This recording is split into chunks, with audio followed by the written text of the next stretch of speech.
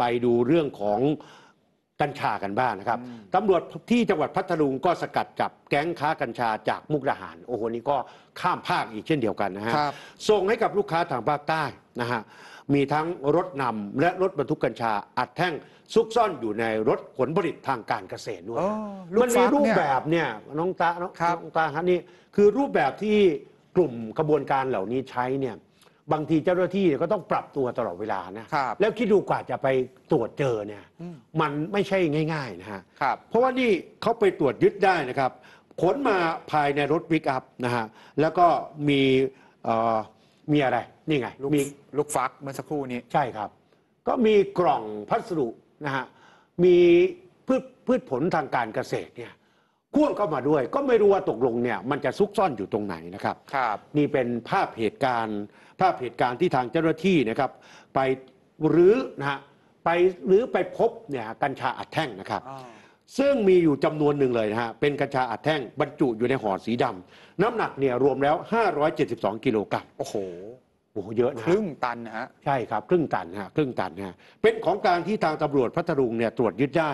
ขณะที่นายแปลงคงนะอายุ 59 ปี และนายสุวิทย์มงคลอายุ 47 ปี ผู้ต้องหาเนี่ยขนมากับรถปิกอัพและตำรวจไล่ติดตามจับกลุ่มได้ที่ปั๊มน้ำมันบริเวณสี่แยกเอเชียอำเภอเมืองพัทลุงครับโอ้โหเนี่ยเยอะจริงๆนะฮะครับเยอะมาก ผู้ต้องหารับสารภาพว่าได้รับการว่าจ้างจากชาวลาวสองคน ในราคา 45,000 บาท และจ่ายค่ามาจำไปแล้ว 15,000 บาท เพื่อให้ขนพืชผลทางการเกษตรครับจากจังหวัดมุกดาหารครับ เป็นอะไรอะน้องตาฮะเป็นฟักแฝงใช่ไหมใช่ ฟักเขียวเนี่ยเมื่อกี้เออโปะมาข้างบนไงพี่ประใช่จักษ์เออ ก็เอาทับไว้ข้างบน ครับ ให้ไปส่งที่อำเภอหาดใหญ่จังหวัดสงขลาเจ้าตัวเจ้าตัวยืนยันว่าไม่ทราบว่ามีการสอดไส้กัญชาปะปนมาด้วย เนื่องจากชาวนายจ้างชาวลาวเนี่ยเป็นคนขับรถมา แล้วก็รับรับเจ้าตัวเนี่ยรับรถนะฮะ รับรถ แล้วก็ขับต่อไปนะฮะเอารถไปขึ้นของเอง ใช่ อืม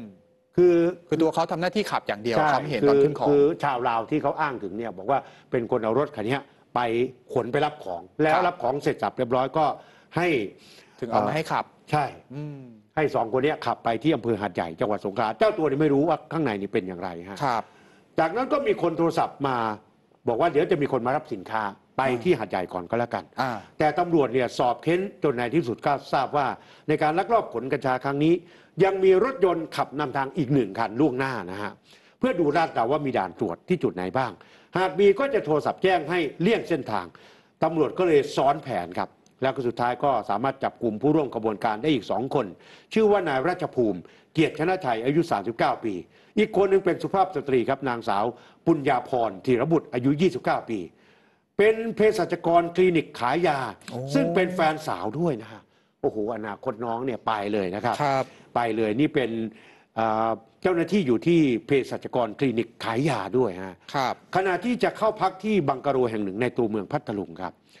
โดยนายราชภูมิและนางสาวปุญญาพรซึ่งถูกควบคุมตัวได้ทีหลังเนี่ยยังไม่ยอมให้การใดๆ แต่เจ้าหน้าที่มีพยานหลักฐานชัดเจนว่าทั้งหมดเป็นกระบวนการเดียวกัน โดยเฉพาะความเชื่อมโยงจากเบอร์โทรศัพท์ของผู้ต้องหาที่จับได้ก่อนหน้านี้สองคน จึงควบคุมตัวผู้ต้องหาทั้ง 4 คนพร้อมของกลางเนี่ย ไปส่งพนักงานสอบสวนที่สบเมืองพัทลุง เพื่อดำเนินคดีตามกฎหมายต่อไปครับ เบอร์โทรมันก็โชว์หมดนะครับใช่สืบสาวเราวเรื่องไม่ได้ยากเท่าไหร่อืมแต่ทีนี้เนี่ยเมื่อวานเนี่ยต้องบอกว่ามีการจับกลุ่มยาเสพติดล็อตใหญ่เกิดขึ้นหลายคดีเลยทีเดียวเดี๋ยวไปดูอีก 2 คดีสำคัญครับ ครับ เพราะว่าเมื่อวานนี้ท่านรองผู้จัดการตำรวจแห่งชาติพลตำรวจเอกเฉลิมเกียรติศรีวรคารเนี่ยแถลงผลการจับกลุ่ม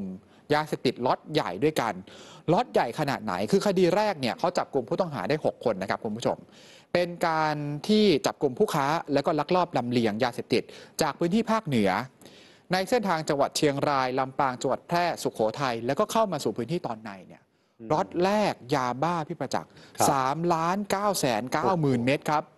เกือบ4ล้านเม็ดกือบสี่ล้านในการคบจับกลุ่มแค่ครั้งเดียวนะฮะแล้วก็ยึดรถยนต์บรรทุกส่วนบุคคลได้อีก 2 คัน โทรศัพท์มือถืออีก 7 เครื่อง ส่วนคดีที่2เนี่ยจับกลุ่มผู้ต้องหาได้อีก 3 คน ยาบ้าอีกเกือบ 2 0 0แสนเม็ดแล้วก็ไอซ์อีกกิโลกว่าๆครับ กลุ่มผู้ต้องหาเป็นผู้ส่งยาเสพติดในลูกให้ลูกค้าในพื้นที่อำเภอเมืองจังหวัดสงขลาอันนี้ลงไปทางใต้เหมือนกัน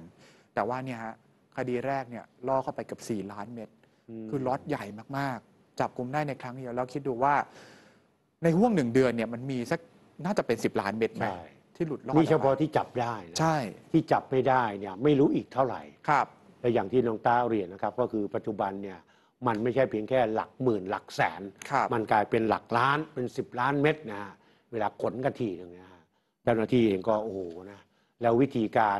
ในการโอ้ ที่จะหลีกเลี่ยง การด่านตรวจของตำรวจเนี่ยมันก็มีความซับซ้อนมากขึ้นนะครับ ครับพอไปใช้รูปแบบที่หลากหลายมากเลย